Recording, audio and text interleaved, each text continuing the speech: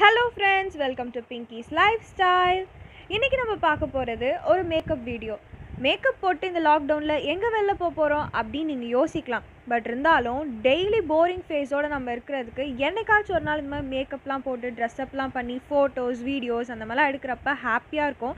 At the same time நமக்கு time pass ஆகும் என்டர்டெயின்மெண்ட்டாக இருக்கும் ஃபன்னாக இருக்கும். அதை தான் நாங்கள் இன்றைக்கி பண்ண போகிறோம் யாருக்கு மேக்கப் பண்ண போகிறோம் அப்படின்னு பார்த்தீங்கன்னா என்னோட குட்டி கசின் ரியாக்கு தான். ஃபர்ஸ்ட் ஸ்டெப் நாங்கள் என்ன பண்ணோன்னா அவளோட ஹேர் டிஸ்டர்ப் ஆகும்ட்டு அவளுக்கு ஹெட் பேண்ட் போட்டு விட்டுட்டு ஃபவுண்டேஷன் ஸ்டிக் யூஸ் பண்ணி அவள் ஃபேஸ் ஃபுல்லாக ஃபவுண்டேஷன் வந்து ஸ்பஞ்ச் வச்சு பிளண்ட் பண்ணிவிட்டு அவளோட சீக்ஸ்க்கு வந்து லைட்டாக ப்ளஷ் அப்ளை பண்ணிட்டோம். அவளுக்கு ஆல்ரெடி ஐப்ரோஸ் திக்காக தான் இருக்கும். ஜஸ்ட் நாங்கள் வந்து அதை டார்க்கன் பண்ணிட்டோம்.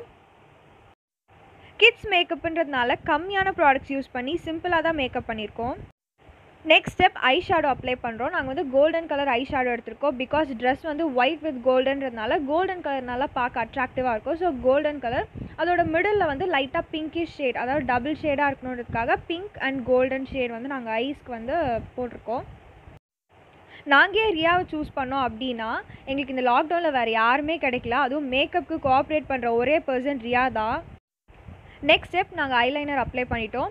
குட்டி பசங்களாக இருந்தாலும் சரி பெரியவங்களாக இருந்தாலும் சரி ஒரு சிலருக்கு வந்து லைனர் வைக்கிறப்ப இல்லை காஜல் வைக்கிறப்ப கண்ணிலேருந்து லைட்டாக வாட்டர் லீக் ஆகும். பட் ரியாக்கு வந்து அந்த மாதிரி கிடையாது. பிகாஸ் நாங்கள் சின்ன வயசுலேருந்து அவளை நல்லா ட்ரெயின் அப் பண்ணி வச்சுருக்கோம். ஸோ ஐலைனருக்கும் காஜலுக்கும் அவள் சூப்பராக கோஆப்ரேட் பண்ணுவாள் உங்களுக்கு பார்த்தாலே தெரியும். அவள் எவ்வளோ அழகாக காமிக்கிறா பாருங்கள் அட் த சேம் டைம் அந்த லைனை ட்ரை ஆகுற வரைக்கும் பொறுமையாக உட்காந்துருப்பா ஒரு சைடு அந்த லைனை ட்ரை ஆகிட்டு இருக்கட்டும். இன்னொரு சைடு வந்து நாங்கள் ரவுண்ட் ஸ்டிக்கர் போட்டு வச்சுருக்கோம் மெரூன் கலரில் மேக்கப் ஸ்டார்ட் பண்ணதுக்கு முன்னாடி அவளே போய் காஜல் வச்சுட்டு வந்துட்டா. ஸோ காஜல் வைக்கிற வேலை இல்லை நமக்கு.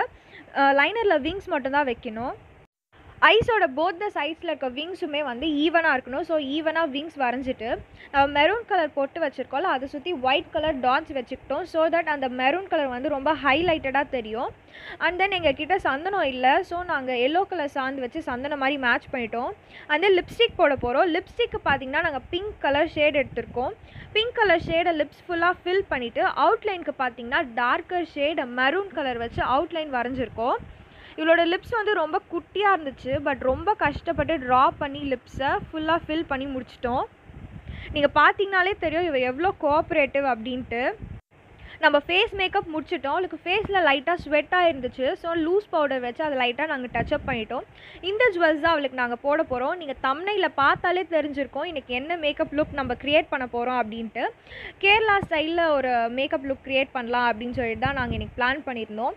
ஸோ ஹேர் ஸ்டைல் பார்த்திங்கன்னா ஆஸ் யூஷுவல் கேரளாவில் போடுற மாதிரி சைடில் ஒரு பன் போடணும். அதுக்கு ஃபர்ஸ்ட் வந்து ஒரு போனி டைல் போட போகிறோம் ரப்பர் பேண்ட் வச்சு.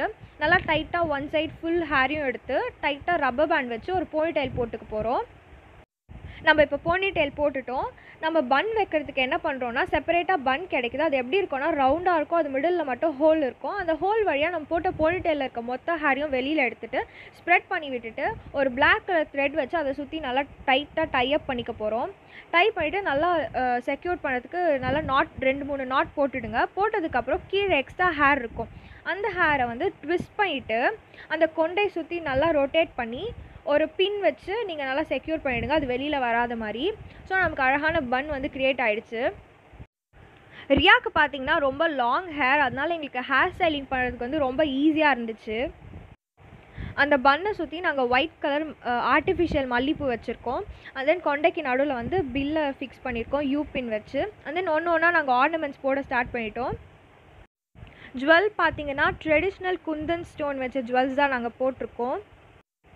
அவ்வளோதான் நம்ம ஜுவல்ஸ் போட்டு முடிச்சுட்டா நம்மளோட கம்ப்ளீட் மேக்கப் லுக் ரெடி ஆகிடும் இந்த லாக்டவுனில் ரொம்ப போரிங்காக இருக்கும். நம்மளால் வெளியிலையும் போக முடியாது. குட்டி பசங்க இருந்தாங்கன்னா நல்லா அட்டகாசம் பண்ணிகிட்டே இருப்பாங்க. அந்த மாதிரி டைமில் நீங்கள் இந்த மாதிரி எதாவது மேக்கப் லுக் அந்த மாதிரிலாம் பண்ணிங்கன்னா வீட்லேயே நம்ம நிறைய ஃபோட்டோஸ்லாம் எடுக்கலாம். அட் த சேம் டைம் ரொம்ப ஃபன்னாக என்டர்டைன்மெண்ட்டாக இருக்கும். நம்ம மெமரிஸ் க்ரியேட் பண்ண மாதிரியும் இருக்கும். இந்த ஃபுல் மேக்கப் லுக் முடிச்சதுக்கப்புறம் நாங்கள் நிறைய பிக்ஸ்லாம் எடுத்தோம். அந்த பிக்கை நான் வந்து வீடியோக்கு லாஸ்ட்டில் இன்சர்ட் பண்ணியிருக்கேன். பாருங்கள் நமக்குமே நிறைய different different makeups hair styles and ட்ரெஸ்அப்ஸ்லாம் பண்ணிக்கணும்னு ரொம்ப நாளாகவே ஆசையாக இருக்கும். பட் நமக்கு டைம் இருந்திருக்காது. இந்த டைமை நம்ம ரொம்ப நல்லா யூஸ் பண்ணிக்கலாம். நாங்கள் இப்படி தான் போர் அடிச்சதுன்னா குட்டி பசங்களெல்லாம் கூப்பிட்டு மேக்கப் பண்ணி ஃபோட்டோஸ்லாம் எடுத்து ஜாலியாக என்ஜாய் பண்ணிகிட்ருப்போம் உங்களுக்கு இந்த வீடியோ பிடிச்சிருக்கோன்னு நினைக்கிறேன். பிடிச்சிருந்ததுன்னா லைக் பண்ணுங்கள் ஷேர் பண்ணுங்கள் அண்ட் மறக்காமல் சப்ஸ்கிரைப் பண்ணுங்கள் தேங்க்யூ ஃபார் வாட்சிங் பபாய்